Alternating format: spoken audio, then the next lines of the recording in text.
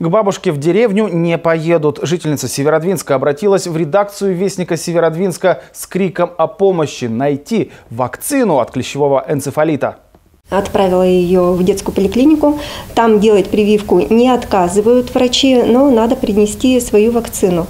Мы объехали все аптеки, съездили в аптеку на Чехова 2, где эта вакцина была раньше.